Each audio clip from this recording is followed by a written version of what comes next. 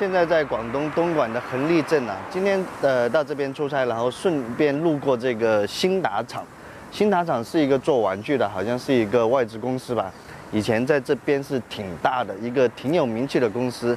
那在抖音上，大家也经常看到一些人在刷新达玩具厂的一些视频啊。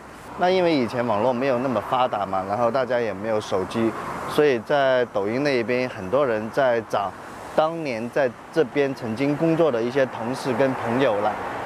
那我今天刚好路过这边，就拍一下新达玩具厂现在的样子是一个什么样子，给大家看一下。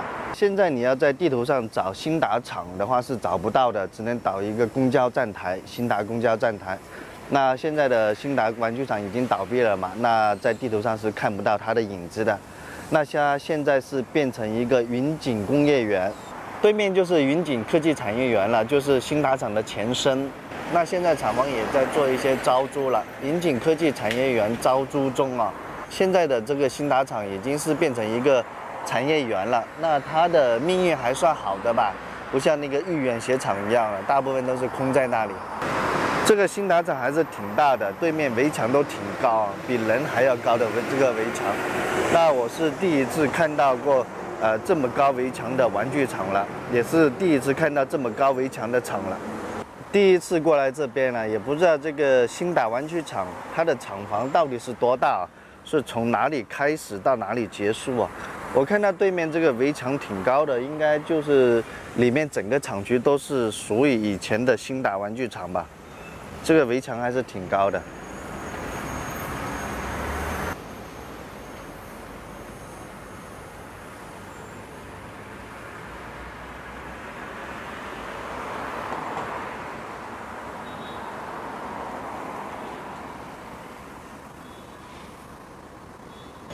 这个园区有好几个大门啊，这个是第二个大门。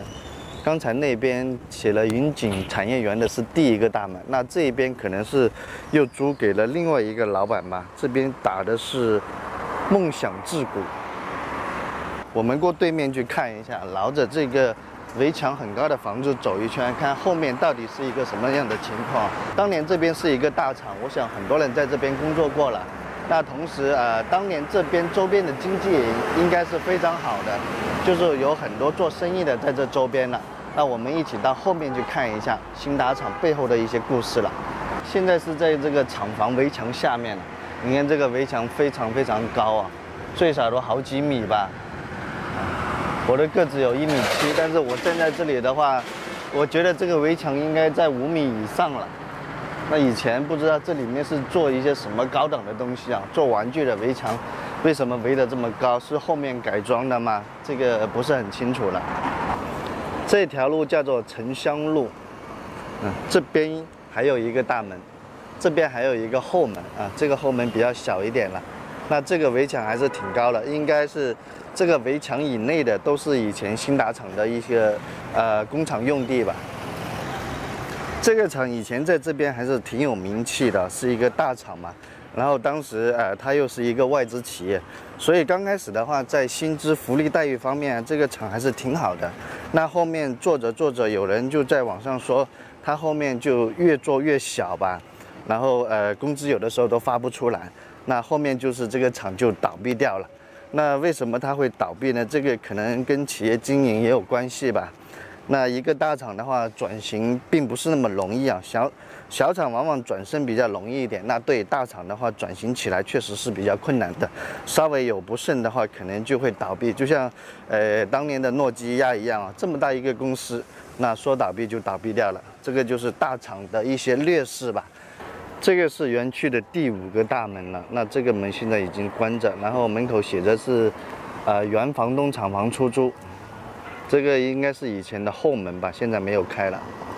边上是一个宿舍楼了，现在还是有员工居住在里面的，因为晒了一些衣服。这个是厂区背后的一个生活区了，那很多人在这里摆摊做生意了，呃，看上去是稍繁华一些的地方了。因为在园区的正门是一条大马路嘛，所以那边是做不了生意的。那当然很多呃商家就跑到这边来做生意了。这边是一些出租房啊。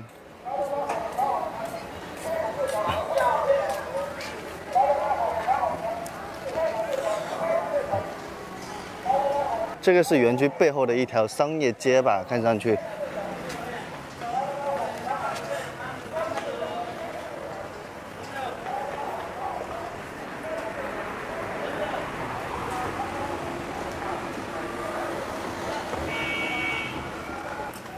在这个园区的后面还有一个大门，这个应该是第六个大门了。那现在这个大门也关闭掉了，这里贴了一个广告：专业生产高频变压器。新达玩具厂有人在网上吐槽它的不好的地方，说它是一个黑厂啊。那当然也有很多曾经在里面工作过的这些呃工友们呢，在寻找他当年的一些同事、一些朋友了。很多人在抖音上问呢。呃，在寻谁谁谁哪一年的什么 QC 啊，或者什么组长这些人，那我想这么大一个厂的话，当年还是留给我们很多美好回忆的。虽然说这个厂现在不在了，那每当我们回忆起自己曾经工作的地方呢，多多少少都会有一些回忆与感慨了。希望能呃找到当年的一些朋友，因为那时候我们都缺少一些联系方式嘛，没有手机啊哈，也没有邮件、QQ 什么的，所以很多都失联了。但是回忆起当年曾经在一起共事的时候呢，难免会想起，哎，去找找这个人，看看他现在在哪里啊，状况怎么样子啊？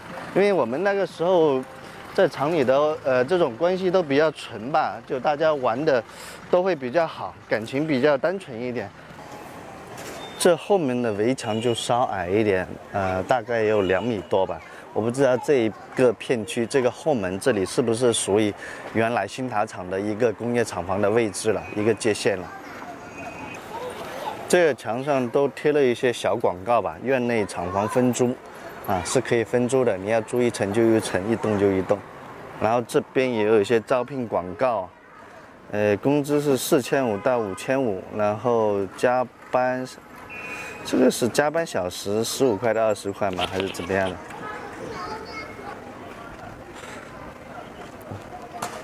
这里又有一个大门，这个是第七个了吧，还是第八个大门了？那从这个大门来看，应该这里面都是属于新达厂的吧？就是这个围墙之内。所以你可以想一下，当年这个新达厂的规模是有多大的？这边也有一些招聘信息了。其实这个应该是中介贴出来的，十六块到二十二块钱一个小时，十六块钱一个小时就是很低的工资了。这边贴了蛮多一个招工信息的，但是工资普遍的话都是四五千块钱吧，就是十来块到二十块出头一个小时。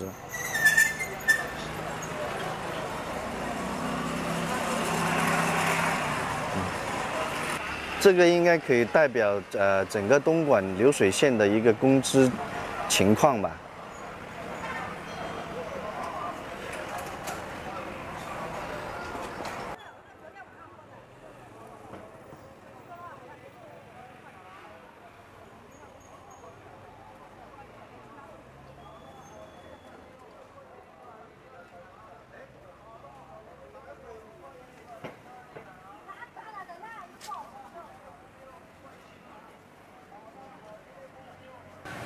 现在招工也很难，现在找工作也很难吧？就是找工作高不成低不就，招工的话也很难招到这个流水线的员工了。在这个侧面这边一条街都是做饮食为主的了，那生意还是不错的应该。刚才转了一圈的这个园区，那这个园区还是挺大的。那可以想一下，当年的新达厂应该是挺大的一个呃工厂了，里面员工应该是非常多的了。那这个园区有六七个、七八个大门吧。那现在它也不叫新达厂了，已经呃叫云锦产业园了，就是租给其他老板了。然后这个老板将这个厂房呢分给其他的一些工厂，分租出去了。那现在呃城墙外面呢也贴了很多招工的告示了。从这个告示来看，大家也可以了解到东莞的大概的。